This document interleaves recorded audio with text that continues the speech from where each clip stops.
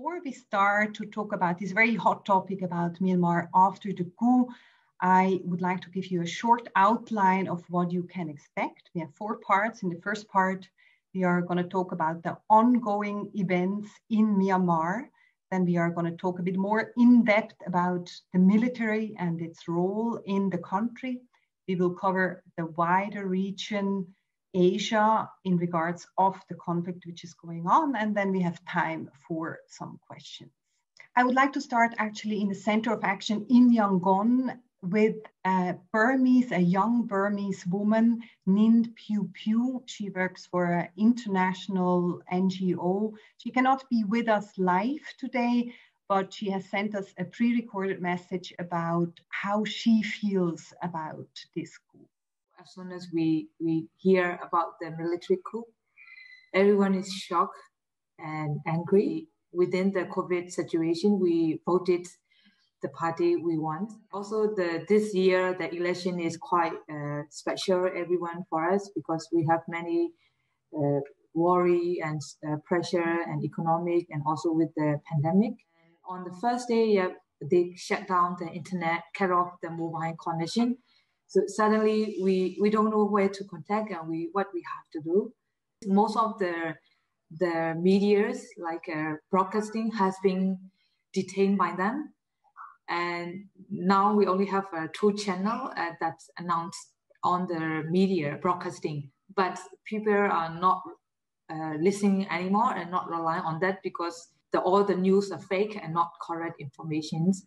And they also release uh, information on social media even though they are they ban their facebook to use but they still announce through their social media because the majority of the Myanmar population trying to use the social media in order to get the information. So for the for the daily go to the grocery uh, buying for some food, uh, still still we can do it, but the the price are uh, obviously increased with this uh, political uh, situation. And but uh, some of the the important public service, for example, healthcare service, has been stopped the medical staff and the doctor joined the civil disobedience movement, who are the first one who starts initiated on this movement. And, and also, for example, the bank, uh, some of the major important service has been closed. Most of them are closed. And, and also, as a citizen, we also try to uh, encourage on that that we want all the government staff uh, as much as possible to join on the this civil disobedience movements. We know that this is one of the powerful way to fight back on this military coup. As a citizen of Myanmar, we are trying to uh, uh, fight back uh, as much as we can on with different strategy without uh, any violations. But on the other hand, the military has uh, used very cruel will and used weapons uh, to threaten people. And also uh, some of the cyber bill they have just drafted that also it's also already have uh, limited on the freedom of expression. Our human rights has been taken away.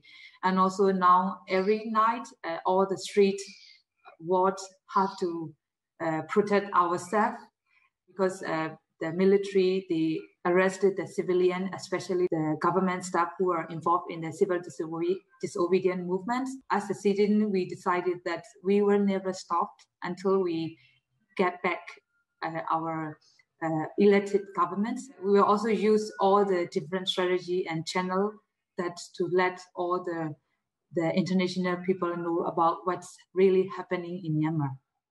So we heard from him how difficult it is to inform yourself in this situation at the moment in Myanmar. Nathalie, you are in Myanmar at the moment. How do you yourself inform yourself and also your employees? How you how do you get information? How do your employees uh, organize themselves?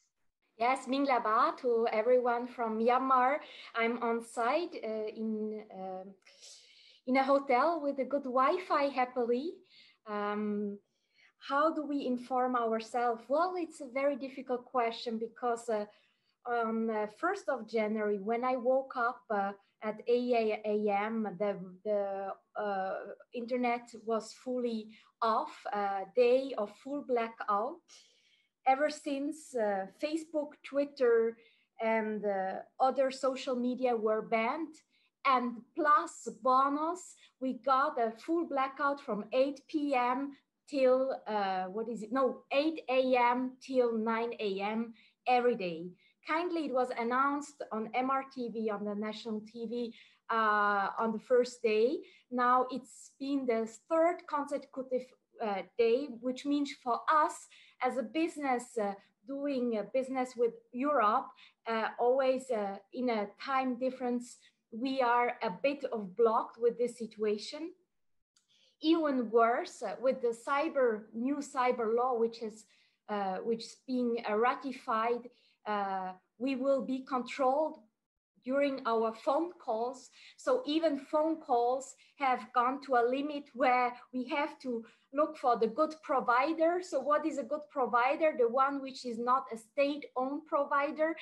And even there, we are limited in what we are saying. So all in all, it has been very difficult to communicate during these days.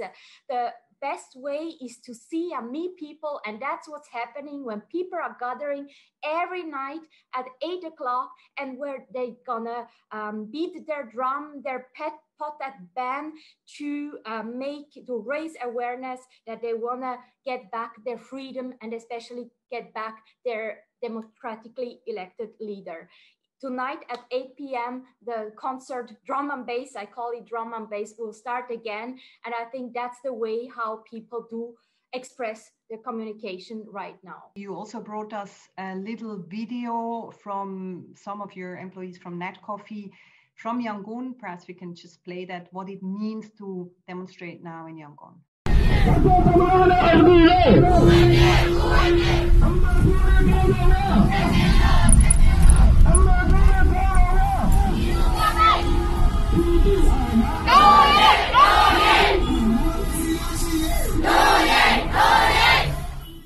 People seem defiant, they seem they seem resilient. And today we have seen the biggest demonstrations in Yangon.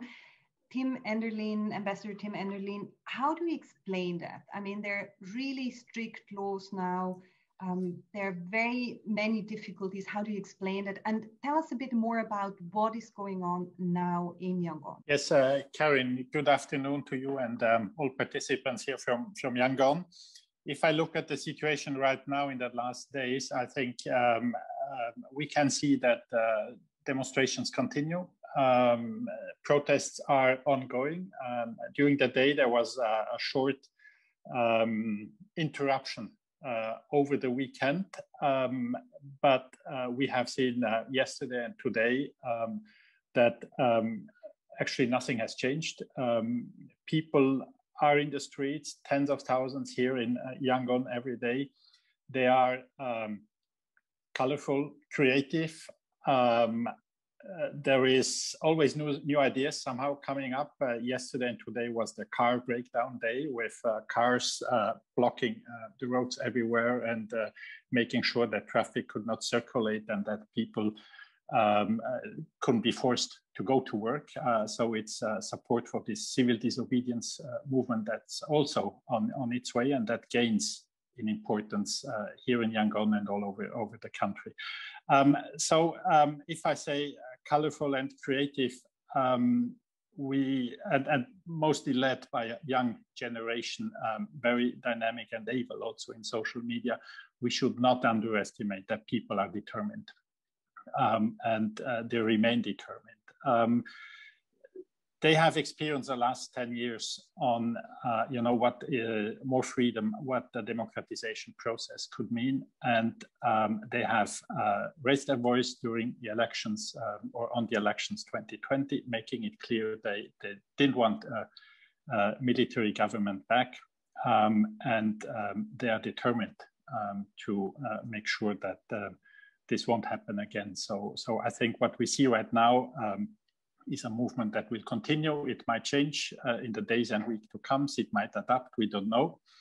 Um, it's peaceful. We very much hope it remains peaceful from all sides. The military shows uh, quite some restraint as well, um, which is, of course, and the security forces, which is, of course, uh, positive, um, um with some exceptions, unfortunately. But I, I talk um, in general and overall, and I think that's of utmost importance right now that uh, things can remain peaceful um, and that uh, there is engagement in de escalation and not any further escalations.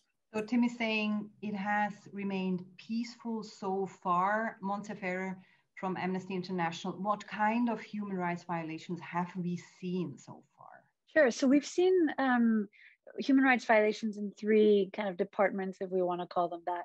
The first, and, and by the way, all of this has been referenced by Hnin earlier today. So this is more putting labor labels in terms of human rights, but she she has enlightened us all with what's happening on the ground. The first have been the over 350 det- uh, detained people, many of whom are senior officials and other political figures of the party that won the elections the human rights there clearly are violation rights to liberty and security of one's person, not because of the arrest itself, but because of the basis of these arrests. Many are on dubious grounds, and some of the grounds are actually no grounds, so no legal basis or no clear legal basis for many of these arrests. The second is the protests uh, that uh, we've been seeing, not, not the protests themselves, but some of the response. Ambassador just mentioned that it has generally been um, peaceful with some exceptions, we are collecting mounting evidence that there, uh, in some cases, there has been a use of live ammunition against protesters. And there's one incident in particular of a woman who is now, I understand last time I checked, she uh, is now in life support. She was shot in the head, presumably by government forces. Um, and then the third area of violations that we've seen is in the communication blackouts in terms of what Kinin has mentioned the uh, internet being shut down, telecommunications being shut down for many hours on end. The, the attacks on protesters and the communication blackouts, both of those result in a number of violations the right to freedom of association, freedom of opinion, freedom of assembly, freedom of expression, etc. So those are the human rights that we've seen already being uh, violated. And of course, we expect, given any usual coup, and specifically the coups that have taken place before in this country, that there is high risk for additional human rights violations as the day go by. Michael, let's look a little bit about uh, at this crowd which we are seeing at the moment in Myanmar. What makes this crowd different, special, compared, for example, as well to the crowd we have seen, the demonstrators we have seen last year in Thailand? Well, there are similarities and differences, uh, Karin, and I think the the similarities are quite interesting, but may not be that significant.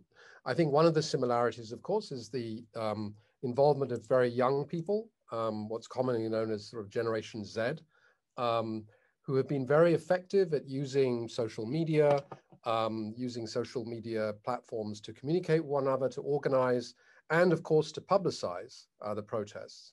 Um, the other similarity is that these are groups of people who connect quite well with similar groups, uh, like-minded groups across the region. So for instance, in, you know, there have been the three finger salute that they've used in Myanmar was very much uh, something developed in Bangkok. In fact, offered from Bangkok as a sort of a variation on the two fingered salute that the protesters were using there. And I think the third area of similarity is in some of the technological means that people are using to overcome the shutdowns in the internet by using uh, Bluetooth technology on mobile phones, which was first pioneered in the protests in Hong Kong uh, uh two years ago. So I think that those are the similarities. The difference is that Myanmar is a country that has emerged uh, uh, from a, a decade-long experiment in democratic, democratic transition, which is relatively recent. And you haven't got the build-up in sort of middle-class complacency that you have in a country like Thailand, where people get tired of protesting um, and go home after a while. And there's a great deal of uh, outrage and concern in Myanmar at what has been taken away. So I would say there's much more anger than there is in Thailand. Um, and I think that's what's sustaining the large numbers in the street and making it difficult for um, the army in particular to bank on a restraint, uh, a sort of non use of non-lethal force uh, to hope that these people will simply dissipate. It worked in Thailand to some extent. People just went home at eight o'clock and came came back on the weekends. Uh, so far, we haven't seen that kind of degree of complacency set in yet. And what we have seen in Thailand is also that it was much more like just a younger crowd. But I think what we see in Myanmar now today is like everyone is joining that movement.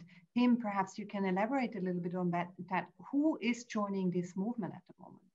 You know, there are basically two movements um, linked together, of course. One is uh, the movement in the streets uh, all over the country, and of course, in particular in the big cities like uh, Yangon, Naypyidaw, and Mandalay. And there is this uh, civil disobedience movement that's um, uh, getting uh, bigger and bigger, where many people, and in particular uh, civil uh, servants, um, take part from, from all different ages. In the streets, I would say um, uh, it's very much the young people, the, as we heard, the Generation Z, the people between 20 and uh, 30.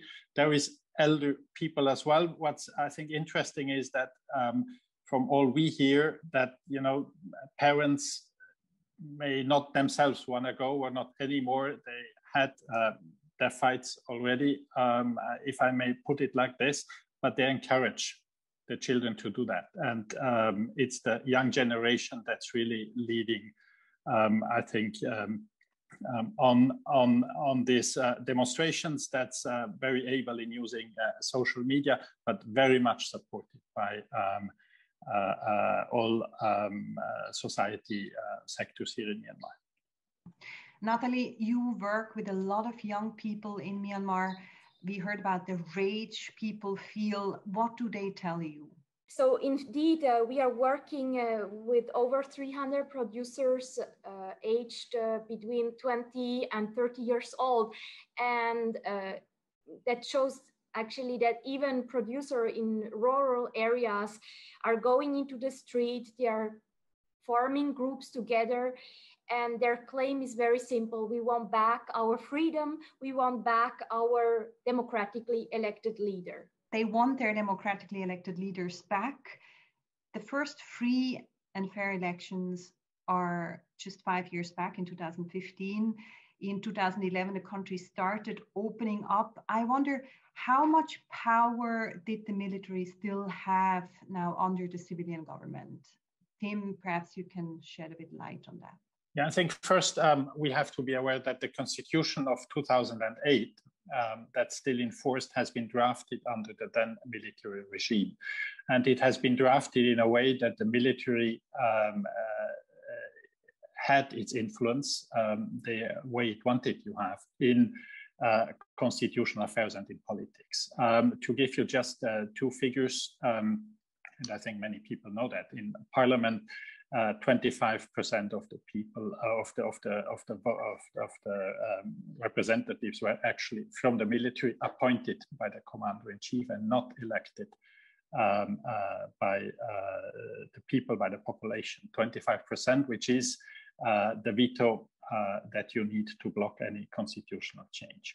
And then three key ministries, the Ministry of Defense, of Home Affairs and of Border Affairs were also um, in the hands of, um, of the military, where the military could appoint its uh, uh, ministers. Um, and maybe uh, lastly, um, one of the vice ministers, there was is a president, sorry, there is one president under the constitution of 2008 and two vice presidents. And one of the vice, vice presidents, even though it uh, was uh, uh, politically not that important a figure, but um, always was also from the military. So the military for sure um, had an important role and kept its important role with the constitution of 2008 and limiting thus um, also um, uh, the, the, the options and possibilities of the civilian government.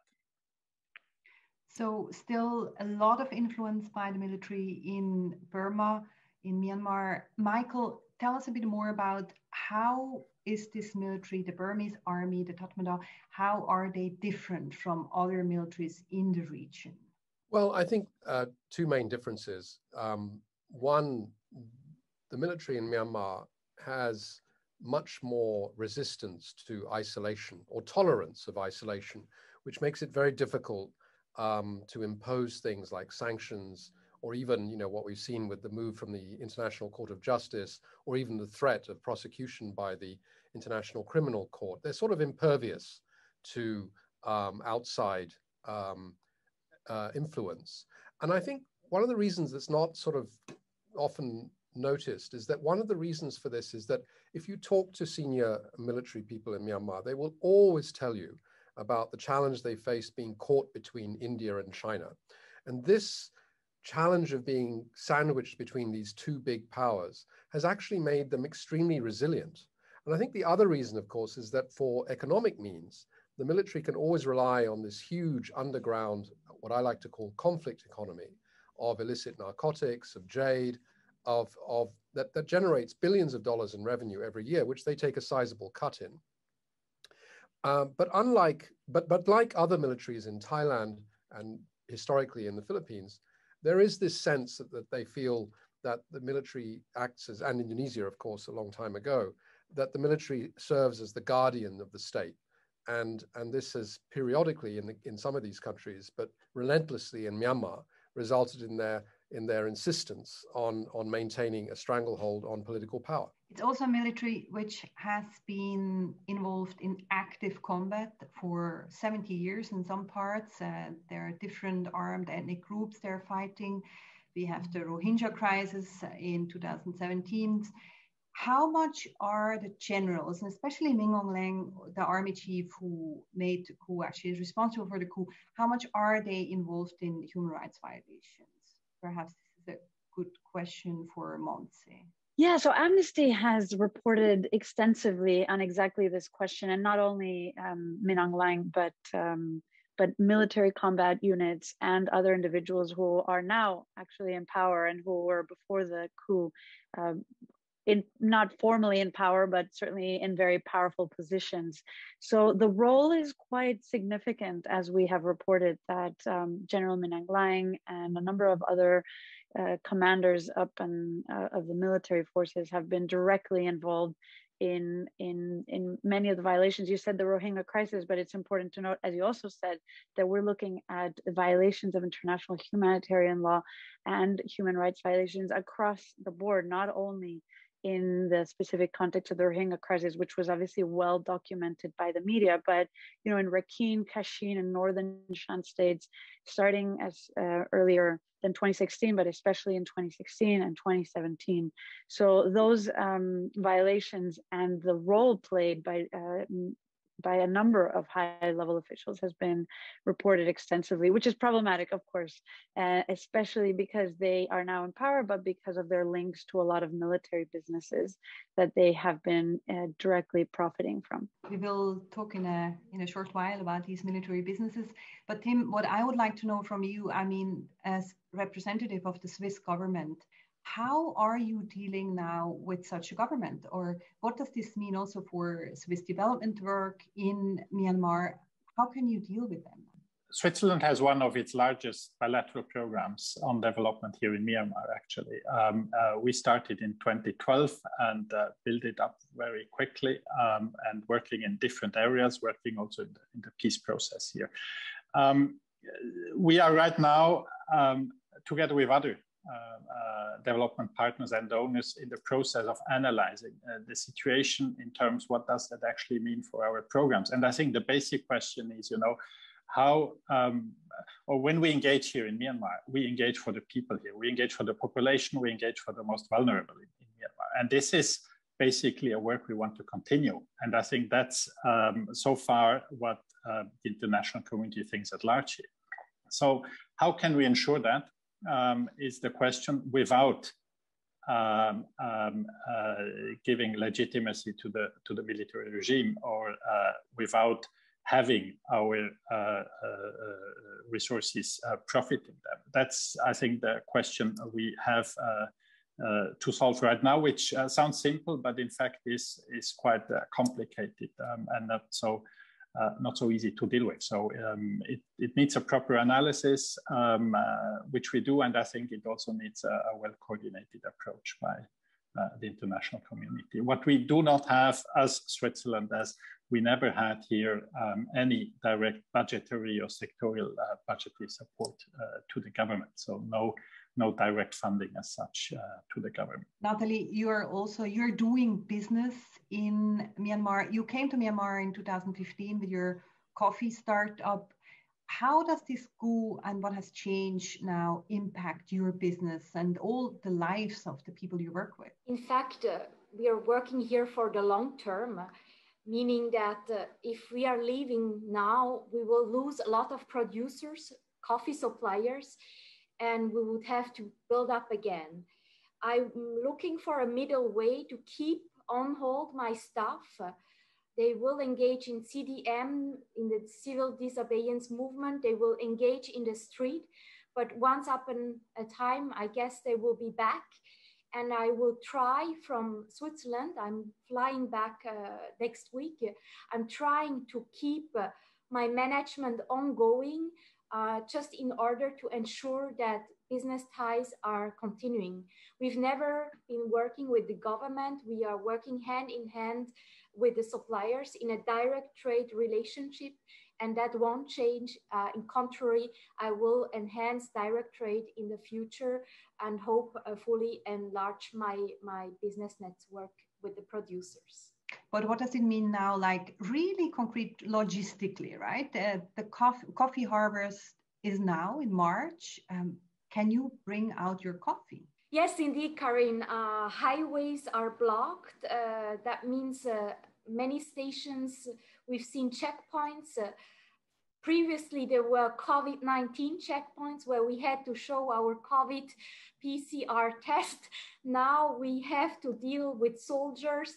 As a foreigner, as a foreign business person, it is sometimes a bit uncomfortable, if I may say so, because uh, in contrast to uh, the past, we now also have to pay to get uh, further on the way uh, in other words, to bribe to, to get a smooth way. Um, that's just for personal, but what about the goods? Might they go from A to B or will they be stuck, even confiscated? It's not clear. So for the time being, we keep our coffees at the warehouse. And once we know better about the situation on the ground, uh, about logistics, we will consider to ship and export again. So business is affected at the moment after the coup. Let's look a little bit about at the business links of the army. Montse, you wrote a report, uh, especially about the army and one of their biggest corporation they have. Can you tell us a bit more about the army links to business, to corporations? Uh, tell us a bit more about that. Yeah, absolutely. So in, in most countries, what we see is that the military is funded by the budget, the government budget that is approved by parliament or, or, an, or an equivalent uh, state body. That was true up until the coup as well. However, in addition to that, something that is extremely unique, and, and I'll say what is unique about it, that uh, the military, and when I say the military, I mean individuals such as uh, General Min Aung Hlaing, but many other people as well have direct business interests in companies. What does that mean in practice? It means that, for example, there are two very large business conglomerates in Myanmar, the MEHL and MEC. In both cases, there are companies that are massive with over a hundred different companies that they own directly or indirectly or, or in full that are in all kinds of business sectors from mining to banking to to manufacturing etc those companies that are um, Myanmar companies partner with foreign companies and with local companies. All of that generates significant profit. And that profit then goes up to its shareholders.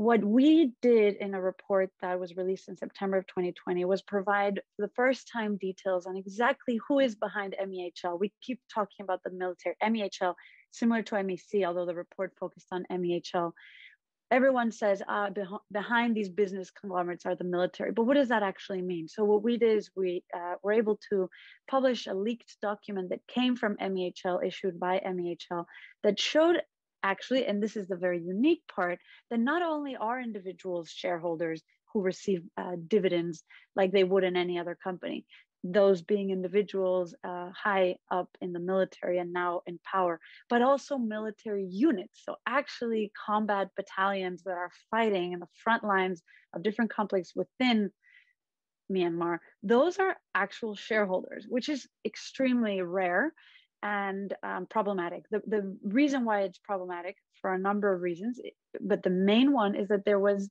and continues now, especially, to be no civilian oversight over these business enterprises. Of course, there should be oversight from regulatory bodies, but in practice, MEHL and MEC, these two large business conglomerates, did not have to follow many of the rules and were not as transparent as they should have been.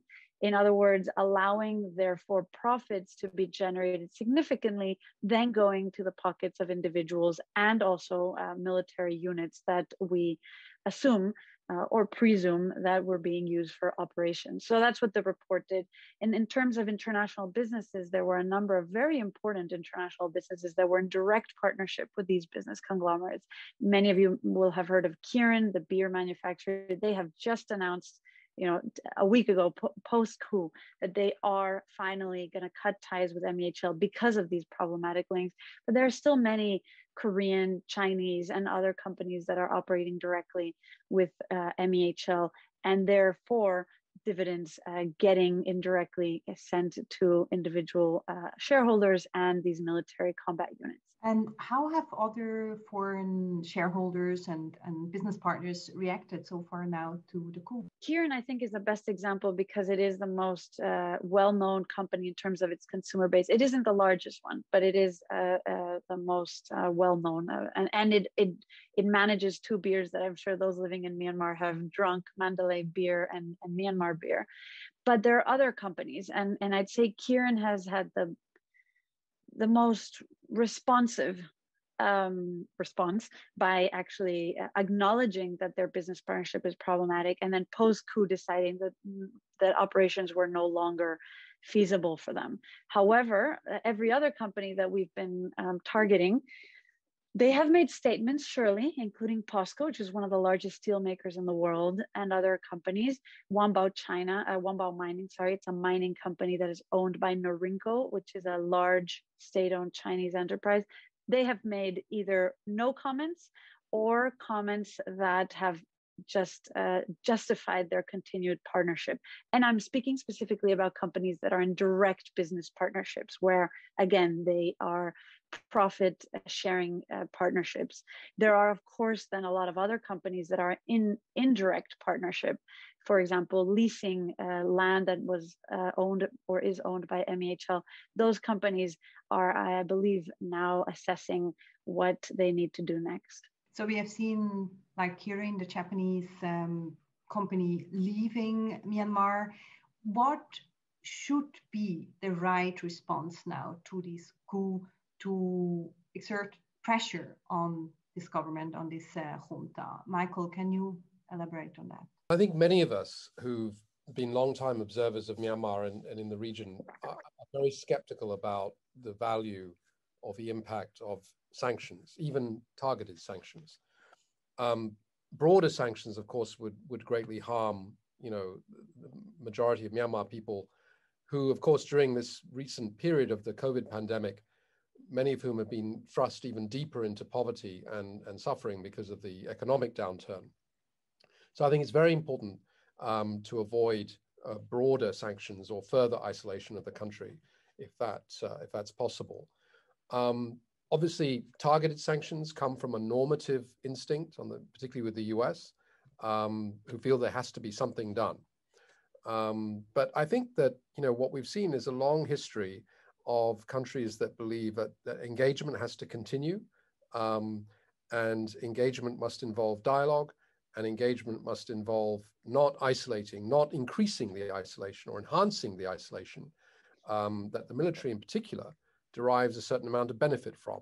So I think it's very, very important to stay engaged, to stay, you know, to be promoting dialogue, um, to be helping uh, the people of Myanmar survive the current economic situation, um, but at the same time to keep messaging the military on the need to return um, to elected government. Montse, on the issue of sanctions, what's the stand of Amnesty International? What would be a right response now to such a coup?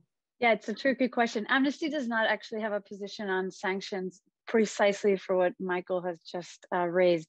Sanctions, especially even targeted sanctions, but especially non targeted sanctions, can have a massive detrimental effect on a community at large and, and the economy. So we don't have a position on sanctions. I, I can just say that that sanctions, if they are meant to work, um, they need to be sanctions or any leverage exerted cannot be unilateral. Uh, I believe that there are a number of countries surrounding Myanmar uh, geographically that have much more leverage. And I'm not talking about sanctions, but more about diplomatic and, and economic leverage that can be exercised and does not appear to be being exercised at the moment. So, yeah, I would say using that leverage, both in the economic but also in the diplomatic, is what we would like to see. You mentioned the diplomatic. We have a diplomat here. Tim, what is the Swiss government doing regarding responding to this coup? And what do you also see from your colleagues in Yangon from different nations? Yeah, I think I can particularly speak for Switzerland now when also I say that um, we have, as many others, we have reacted um, to the seizure of power by the military. We have uh, issued a statement um, we have uh, joined a statement uh, of uh, several ambassadors here in Myanmar very recently, calling also for uh, non-violence, uh, calling for the release of all uh, detained people, etc. We have um, supported as co-sponsors the resolution brought in by EU and UK to the Human Rights Council and also had, had, a statement there. So I think these are the immediate uh, reactions uh, we can have and uh, where we can show um, to um, to Myanmar, um, also to the military government, that we actually support the democratic process and that we urge also people to get back uh, to a dialogue process. I can very much echo, I think, was what Michael has said, and uh, uh, also on, on sanctions. You know, it's uh, there is a history here on, on sanctions in, in Myanmar, and um, unfortunately, sanctions often do more harm than they um, help in anything. So um, I think the international community needs to find the right answer. Um, and um, that's what, what we are working on. But I think as a country, a country like Switzerland, what we engage in and where we should, in my view, at least engage in is also to see um, uh, where is a need, where is there a need for a bridge builder, for somebody who can foster dialogue, who can um, act and maybe not, you know, in the immediate term, but uh, but uh, midterm at least, um, act in a sense of offering platforms of of uh, helping to find constructive solutions at the very end to help finding a, a political solution to this uh, uh, most recent crisis in Myanmar. Many say that as long as China is not pressuring the generals more, nothing is going to change. Michael, perhaps you can elaborate a little bit on the role of China in the region and regards uh, to Myanmar and what they're doing, what they should be doing, which role they have. The first thing that needs to be said is that there's been a tremendous amount of anger expressed towards China on the streets of cities in Myanmar, um, which is largely based on um, a, a, very widespread perception um, of China's um, support, supposed support for the military regime, in particular, helping the regime to um, restrict internet access. Having said that, I think it is a perception. Um, there's very little evidence of this at the moment. What there is evidence of is a great deal of consternation um, in China about what has happened, which has upset a very um, prosperous and profitable relationship between China and the NLD-led government. Uh, just before the coup, um, we actually convened a dialogue between Myanmar and China in Yangon uh, on a virtual platform. And it was clear that many of the Chinese scholars and experts were very anxious about the, the downturn in civil military relations. And they saw this as a harbinger of trouble to come. Um, and I think that that shows that there's a great deal of concern about instability but not necessarily a desire to interfere. Um, there is a report at the moment of a senior Chinese official who may or may not be in Naypyidaw. That wouldn't be surprising. I mean, other officials are also trying to get in from other countries to meet with um, the military, um, including from ASEAN countries. Um, so I think that China wants uh, a, restoration of stability Uh, it wants to get back to what it considers to be important uh, infrastructure projects and investments in Myanmar that are helping to make that important strategic border um, a useful one for China, both in terms of trade and access.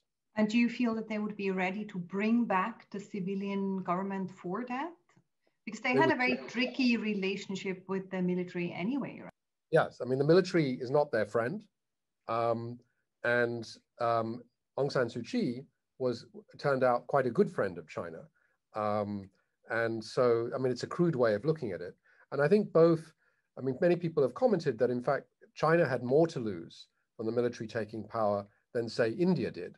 You know, India has a close relationship with the military, and the military looks after the, the border with northeastern India and preventing the insurgents from crossing back over the border. Um, and so India had more to gain from the military's continued role uh, than China did. What kind of risks, what kind of impact, perhaps, Michael, you can just continue, do you see after the school for the entire, the wider region uh, for Asia? Once again, it's a very important inflection point for the Association of Southeast Asian Nations to be seen to be doing something uh, constructive and effective. Um, I do think, and I, I won't dwell on it for very long, I think there is a much better chance for ASEAN to play a role in Myanmar because we've seen over the last almost, you know, uh, 20 years, uh, 15, 20 years, uh, uh, or certainly since 2008, ASEAN has played a role in Myanmar to a much greater degree than it has in other member state countries. So you had Cyclone Nargis and the whole ASEAN relief team that went in there. Also, more recently, with the, re, the planned repatriation of Rohingya refugees, ASEAN has received a mandate to actually assist in that if and when it, it, it actually happens. So I don't think it's beyond the bounds of possibility that ASEAN can have a role in, for instance, preparing for fresh elections, uh, supporting the elections in terms of observer, giving it credibility. I, I don't think it's it's it's beyond um, a reasonable uh, assumption that this could happen. Tim, what do you think will be the most likely outcome now in the next few weeks? What do you expect, and what are your fears as well? Oh, if I would know that, Karin, actually, I don't. Um, and I don't think anyone anyone does. Um, there are different scenarios possible. Of course, it's possible that uh, it continues the way it actually is right now with the peaceful protests um, and uh, rather uh, uh, uh security forces that that uh, restrain themselves. Um, there is still a possibility of of, of escalation, of course. Um, we do not know exactly, you know, what the next steps are. And the, the military government has said that it wants um, uh, to to work on on continuity. That's uh, uh, that's what they say from the very beginning. They have uh, the, the fight against the pandemic as a priority. They have the economic development um, as, a, as a priority. The peace process is is for them a priority as well. Um, we just do not know in uh, what terms will they be able also to deliver on that now, especially also as there is so much uh, opposition right now. So uh, I don't think it's it's really predictable what can um, uh, happen here. But as I said uh, at the beginning, um, what we all should maybe uh, uh, be aware of and, and work for is um, that um, this does not turn into something more violent um, and that bloodshed um, will not happen um, and that eventually we will, uh, or that the parties will find ways to start communicating with one um, of the other. I would like to move on to some of the questions which are coming in here. There's one question which someone which is who is asking if um, did the civilian government, by not publicly condemning the military for its treatment of the Rohingya crisis, lose its soft power to a degree that will now cause a weakening of the international response to the coup? I think that it's it's really to conflate the past problems with the current problems is of course you know to make it all much more complicated. Um, clearly, um, San Suu Kyi didn't bathe herself in glory um, in terms of the response to the Rohingya crisis. Um, which was in itself perpetrated by the army. Um, and then she ended up defending the army's actions uh, at the International Court of Justice. Um, I will say that I think that the military regime will do its best to, to try and uh, address those issues. if anything, to sort of show up the previous government's inability to do so, and also to curry some favor with the international community, who, of course, want to see the repatriation of Rohingya refugees.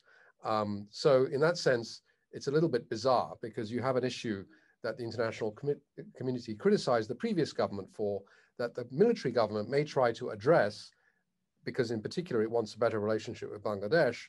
Um, and then the international community will be forced to sort of say, oh, that was a good thing that these refugees returned.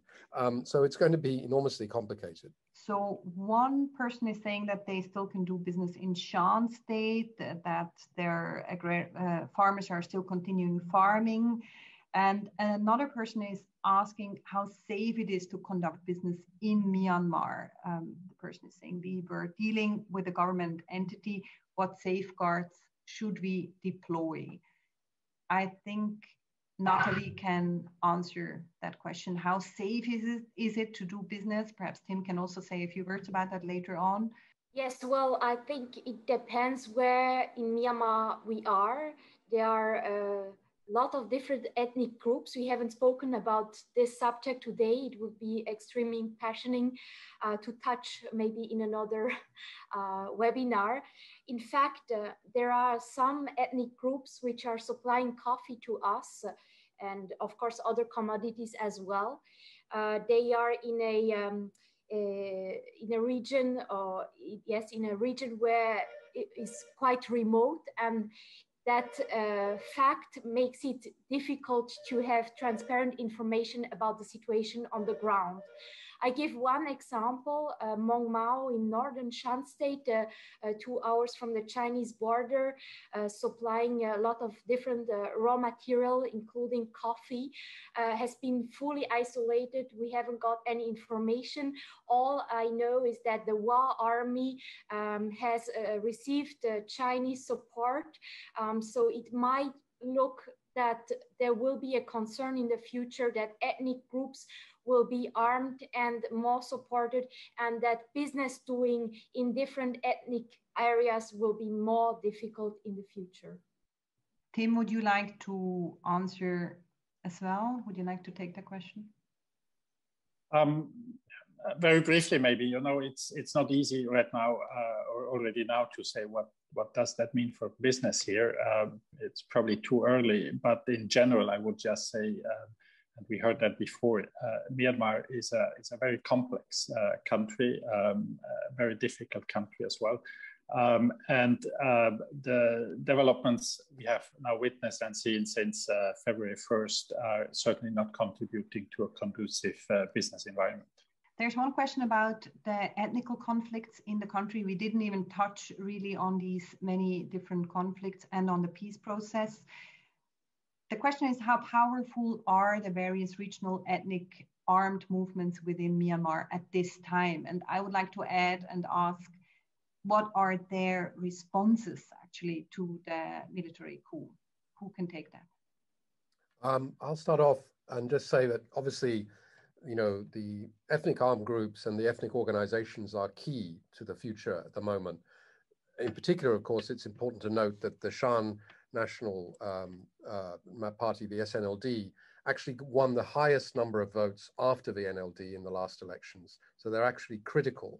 Um, and I think the ethnic armed groups um, have a great deal of leverage at the moment because in any scenario, whether it's the continuation of a military junta or the military deciding to um, hold fresh elections, the military, uh, the, the ethnic groups and their political parties will be key to the success of that um, enterprise. And of course, the, the ethnic armed groups were not very happy um, with the NLD led government.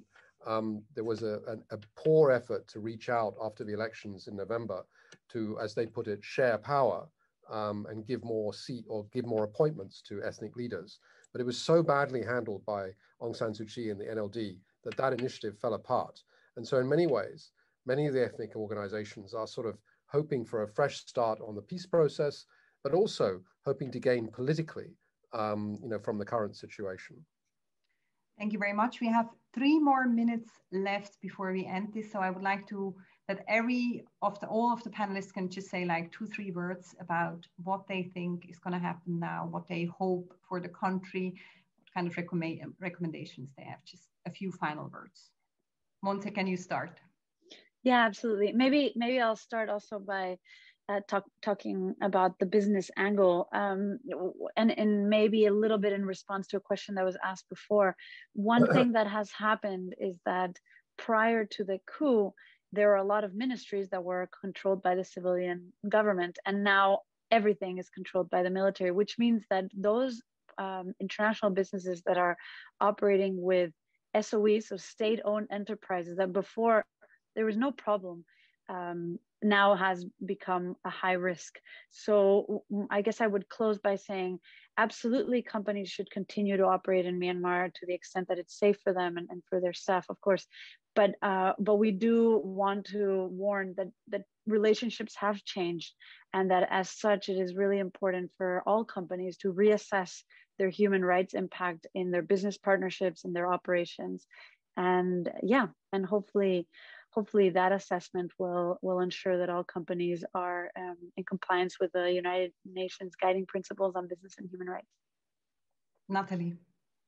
I'm a positive person. I'm hoping that the civilian obedience movement will grow bigger. We've seen an estimated 70% of government staff joining the movement. If there are even more, it will paralyze the, the country. We've seen now the Railway Association already uh, stopping their work. Uh, electricity Department of the government announced that they will continue supplying electricity, even though people might not pay for the taxes for the new government. So there are different associations with different approach, but in the end, all what matters, I think, and I'm very optimistic think that is going to happen. The power of the people, in the street their claim for freedom. And I hope that uh, this will prevent any uh, further um, inclination of, of uh, violence in, on the ground. Michael? I think that we have to be very careful about the um, assumption that this use of non lethal force and restraint is necessarily going to last. I mean, we should remember that in 2000, uh, in 1988, there were several months of protests before the army went to the streets to mow down civilians. I mean, the protests began in March 1988, and, and in August, the shooting started. So we have a long time to go before we can really predict um, how this is going to turn out. The final word goes to Yangon, to Ambassador Tim Enderlin. Maybe two things. Um, Myanmar has experienced the last 10 years um, uh, democratic transition process, um, which uh, of course was uh, quite fragile also due to the political setup uh, here in the country. And I think it's important that this uh, democratic uh, process um, and transition process can resume, um, knowing also that this is a difficult path and it's a path that needs um, a lot of patience and it's a path also, and we have seen that already, that is also marked by setbacks. Um, the same goes for the peace process. We haven't talked about it today much. Um, again, in a very complex and difficult uh, context, um, also the peace process needs to go on. Uh, what this country needs after 70 years of conflict actually is peace, um, peace uh, for development then. Um, and also here, um, of course, we have to be aware of that after so many years of uh, conflict with so many different actors uh, playing herein, um, this is also a complex endeavor and also something that needs uh, patient and that's rather a generational uh, question than a, a short-term question. So um, I think it's important that those two processes can actually resume uh, or continue. Thank you very much for these final words. And thanks to all the panelists, Nathalie, Michael, Montse, Tim. Thanks for watching this webinar and have a good day.